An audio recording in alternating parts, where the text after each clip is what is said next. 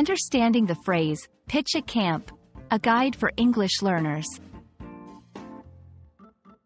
Hello, and welcome to our English language learning series. Today, we're going to explore the meaning and usage of the phrase, pitch a camp. This is a common phrase in English, especially in contexts involving outdoor activities. Let's dive in and understand what it means and how you can use it in your conversations.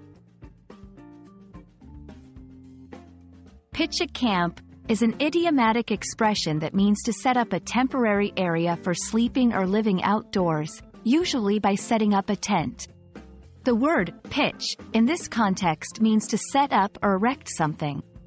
This phrase is often used when talking about camping, hiking, and outdoor adventures.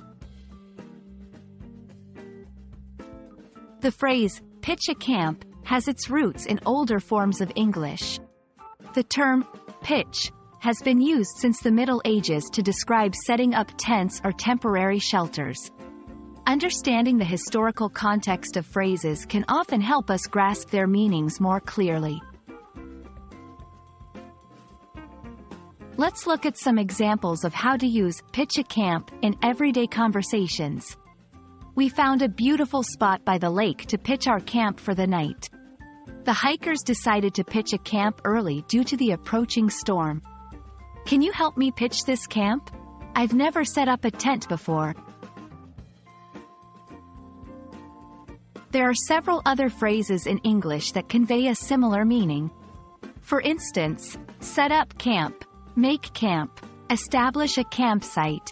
Each of these can be used interchangeably with pitch a camp, though there might be slight nuances in their usage.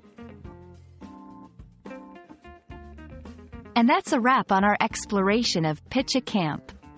Remember, this phrase is all about setting up a temporary home outdoors, usually with a tent.